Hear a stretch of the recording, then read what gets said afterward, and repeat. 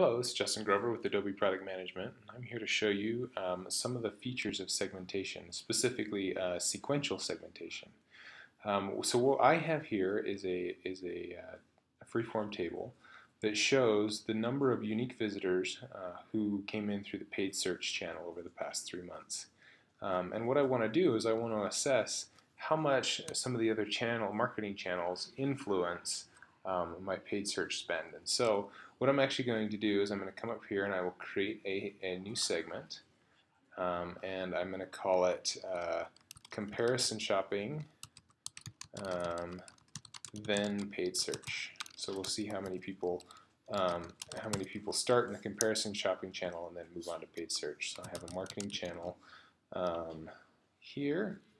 And one of the things that you want to be careful with when you're doing a sequential segmentation is you usually want to um, want it to be either a visitor or a visit container. In this case, we're going to do a visitor. Um, and so what we're going to do is we're going to select um, comparison shopping as a marketing channel. And then we'll go ahead and bring in the marketing channel again and we'll select paid search. Um, and then one of the things that we'll do here is we'll change the operator from from having both of them to having them in order. So starting with the comparison shopping channel and then moving over to the paid search channel. Um, if I wanted to, I could click on the little clock here and I could get um, some options to say, okay, great, that they that there was a, an amount of time after that, or I could even do it um, within that amount of time, and then I can add um, add more more uh, criteria around that. In this case, I'm just I'm just concerned with sequence and not necessarily the time between. So I'm gonna I'm gonna go ahead and save it like this. So then I, what I can do is I can save it, and it shows up in my in my segment list. So I'll go ahead and drag this over, and then I will drag over the unique visitors metric here, and I can see how many visitors started in comparison shopping and then went on to paid search for the time range that I'm looking at. And as I can see here, the the the number of visitors is relatively low, and so I can I can kind of safely assume that my comparison shopping channel, my paid search channel, don't have a lot.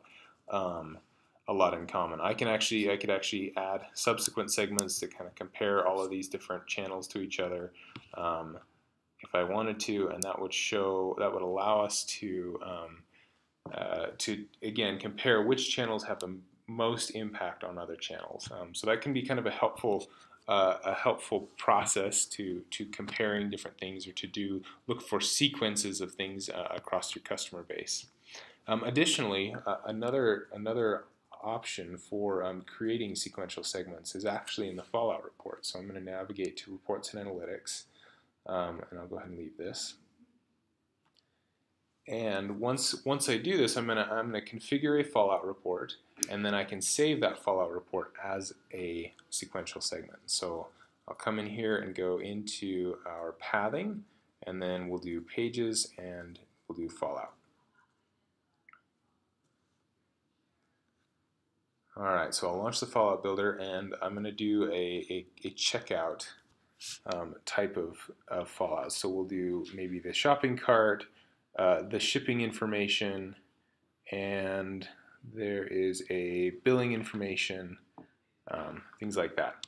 And so if I run this report, um, now I get a fallout of, of all of these different checkpoints and I can actually create a segment for this path. And so what this will do is this will create a segment um, for all of the people who hit the shopping cart, the, the cart details, the shipping information, and the billing information. So we'll go ahead and create that and see what this looks like.